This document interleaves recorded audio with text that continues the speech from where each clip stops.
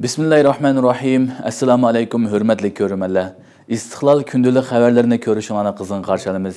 Men Arshidin Ediqot. Tövəndə vatanimiz sharqiy Türkistan va dünya kun tartibiga əlaqədar mühim xəbərlərini huzurunuza sunumuz. Qani diqqətinizlər ekranımızda bolsun. Xitoy til yazıqı Uyg'urlarga davomli majburiy tingilmoqda. Xitoy yaqinqi yillarda Xitoy til yazıqini majburiy umumlashtirishni davomli kuchaytgan bo'lib, Xitoyning bu terror siyosati Uyg'ur til yoziqining yo'qolish xavfini barg'ansir oshirmoqda. Yaqinqi kunlarda Xitoyning Uyg'urlarga Xitoy tilini jiddiy o'rgatayotganligi haqidagi sinlar ijtimoiy uchur vositalarida ko'p tarqalgan bo'lib, mazkur sinlarda kanit aholi komiteti, sinf, cho'ng kichik yig'in zallari, maktab qorosi qatorliq o'rinlarda kecha kunduz demasdan Uyg'urlarga Xitoychini majburiy o'rgatgan ko'rinishlar ko'rsatilgan. Buning ichidagi bir sinda oqsu viloyati Shayar nahiyasining navbatdagi vaziyati fosh qilingan bo'lib, sinda kent komitet maydonida Uyg'urlarning oftobda o'ltirg'izilib, majburiy Xitoy tili o'rgatayotganligi ko'rsatilgan. Xitoy Davlat ishlari mahkamasi markaziy ishxonasi 2021 yili 30 noyabr atalmish yangi davr til yeziq xizmatini umumyuzlik kuchaytirish to'g'risida taklif fikri nomli hujjatni e'lon qilgan bo'lib, hujjatda Xitoy til yeziqining ishlatilishining yanada tampungsiz va nomuvofiq ekanligi, shunga 2025 yilgacha Xitoy o'rtaq til yeziqining umumlashish nisbatini 85% ga yetkazib, tixmo qiliblashtirish kerakligi tilga ilingan edi. Xitoy rejimining Xitoy tilini umumlashtirish siyosati harakati uzun tarixga ega boshqa millatlarning tili va shivisining bisim ostida yo'qolib ketishi haqida andisha qo'zg'ab kelmoqda. Jumladan Xitoy mustamlikasida yashayotgan Uyg'ur, Tibet, Mo'ng'ul qatorliq millatlarning til yoziqi Xitoyning bostirish sababidan asta-asta yo'qolish xavfiga duch kelmoqda. Bildirilishicha, bu hujjat Xitoyning tunji qitim davlat ishlari mahkamasi nomida tarqatgan til yoziq xizmatini umumyuzlik kuchaytirishga aloqador hujjati bo'lib hisoblanadigan. Garchi Xitoy o'z til yiziqini majburiy tingishni tarixdan beri ijro qilib kelgan bo'lsa-mu, yaqinqi yillardan buyon Xitoyning Sharqiy Turkistonda ijro qilayotgan irqiy qirg'inchilik siyosatiga mos holda bu harakatini tig'imi kuchaytgan. Xitoy Sharqiy Turkistonda Uyg'ur til yiziqini amaldan qoldirish haqida o'qitirish tarqatgandan keyinla 2000 yili 9 oyda ichki Mong'oliyadagi yerlik maktablardan barliq o'qitishni Mong'ol tilidan Xitoy tiliga o'zgartirishni talab qilgan edi. Natijada bir qism kishilar ona tilining yo'qolish xavfidan ansirab norozilik bildirib, ko'plagan o'qituvchilar dars tashlagan, qisman ishchilar ish tashlagan edi. Oxirida Xitoy rejimi nurg'un kishilarni jamiyatni tartibni qalaymaqon qildi degan tuhmat bilan qo'lga olgan edi. Xitoyning Sharqiy Turkistondagi Uyg'ur, Qozoq, Qirg'iz qatorliq turkiy millatlarning til yoziqini cheklash bostirish siyosati navbatda tasavvur qilg'usiz darajaga yetgan bo'lib, Uyg'ur o'smirlarining maktabda Uyg'urcha so'zlashishining cheklanganligi, xiloflik qilsa tan jazosi berilganligi haqidagi sirlar tarqalib, ijtimoiy taratqularda kuchli g'ulg'ula qo'zg'aydi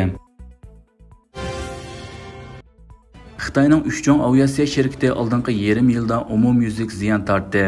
Xalqaro bozorning ojizlashishi va xitoy ichidagi raqobatning kuchayishi sababli xitoyning uchchong aviatsiya sherkiti oldingi yarim yilda umumyuzlik ziyon tortgan. Amerika ovozining 30 avgust xabar qilishicha xitoyning asosliq davlat igdorchiligidagi aviatsiya sherkiti bu yilning oldingi yarmida umuman ziyon tortgan bo'lib ziyon tortishning sababi xalqaro sayohatning asliga kelish darajasining kutilgan plandan tuvan bo'lishi xitoy ichi bozorida ta'minotning ehtiyojidan ishib ketishi va dunyo miqyosida aviatsiya kuchining asiga kelishi bilan bozor raqobatining kuchayishi qatorliqlar ekan. Bildirilishicha xitoyning uchchong aviatsiya sherkiti xitoy xalqaro aviatsiya sherkiti xitoy janubiy aviatsiya sherkiti va xitoy sharqiy aviatsiya sherkiti ekan. Ularning oxirgi qitim payda ahvolini e'lon qilgan yillik moliya doklati xitoy virusi yuqumining foydalanishidan ilgirki 2019 yilga to'g'ri keladi ekan Xitoyning uchchon davlat igdorchiligidagi aviatsiya shirkati ichida birinchi o'rinda turgan Xitoy xalqaro aviatsiya shirkati 29 avgust bu vaqtda doklad berib, shirkatning oldingi yarim yilda 2 milliard 780 million yuan ziyon tortganligini, buning o'tgan yilning o'xshash mazgildagi 3 million 450 million yuan ziyonga silishtirganda ozroq azayganligini bildirgan. Xitoy Janubiy aviatsiya shirkatimi oldingi yarim yilda 1 milliard 230 million yuan ziyon tortgan bo'lib, bu o'tgan yilning o'xshash mazgildagi 2 milliard 900 million yuan sab ziyondan oz bo'lgan. Markaziy Xitoyning Guangzhou shahriga joylashgan bu aviatsiya shirkati birinchi faslda 760 million yuan foyda olgan bo'lsa-mu, biroq keyingi fasllarda davomli ziyon tortgan. Amerika parlament a'zolari Yaponiyada Xitoyning tahdidiga taqobil turishni muzokara qildi. Amerika avam palatasining ikki partiya vakillar umiki yaponiyada ziyoratda bo'lgan bo'lib bu jarayonda xitoyning tahdidiga taqobil turish hamkorlik masalasini muzokara qilgan.